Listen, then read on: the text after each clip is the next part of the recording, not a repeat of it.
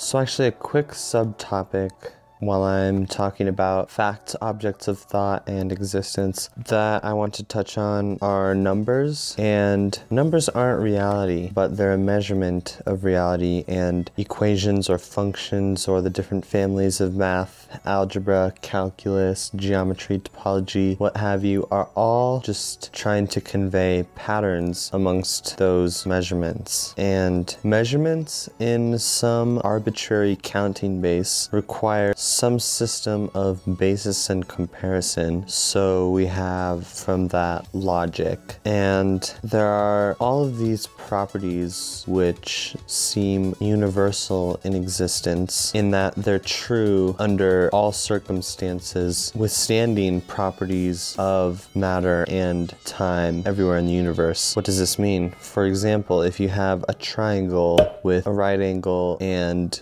at that right angle, two of the sides are the same length, then the hypotenuse will have a length that's a ratio of the square root of 2 times the length of the other sides. But then from this you can construct if you have two sets that are non-empty, A and B, where all of the elements of A represent quantities of measurements that are less than all of the elements of B, and the set a contains no greatest element. And you could take B to be all of the, say, rational numbers or measurements that are greater than the square root of 2. This is something called a Dedekind cut, and from this you can construct the real numbers with all of their algebraic properties, you know, identity elements, for operations of addition and multiplication, uniqueness of those, there being additive and multiplicative, well, not multiplicative inverses, but additive inverses, all of those properties so that you can fundamentally build up calculus. And one of the reasons that we really treasure calculus, but that it has all these rules relating to continuity and there's so much buildup in math to get to it is because our perception is seemingly a continuous one-to-one, -one, irreversible or basically non-invertible in the time domain existence. So when we want to characterize that, we need mathematical tools to handle those kinds of states of affairs if we want to represent them using the mathematical kind of terminology. So as you can see, numbers sort of exist in between facts, objects of thought, as well as existence. They're kind of in the middle.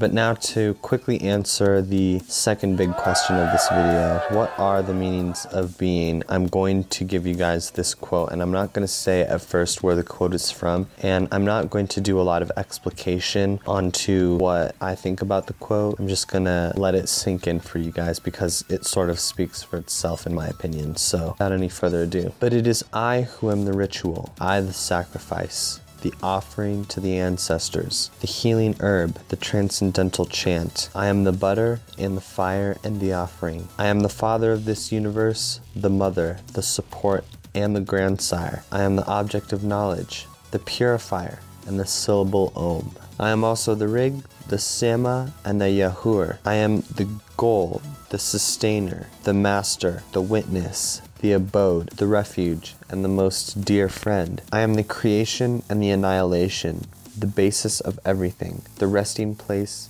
and the eternal seed. O Arjuna, I control heat, the rain, and drought. I am immortality, and I am also death personified. Both being and non-being are in me. And that is from the Bhagavad Gita. So hope you guys enjoyed that. But basically, to sort of play along with this word game that essentially all these questions and answers are, because really, you know, language is just something that if you want to talk about that existing, it exists before we're born, after we die, and unless we make formal contributions through academia or writing you know, a landmark novel or something like that, few of us ever actually push the barriers of the language that we use every day. And yet, certain languages like Latin don't exist, or, you know, they're said to be dead, but they exist because you can still look up dictionaries of them and learn Latin and things like that, etc. But, anyways, to answer the question, what are the meanings of being? If I'm going to put it into just a single sentence, I would say it is Krishna consciousness via Karma Yoga, which is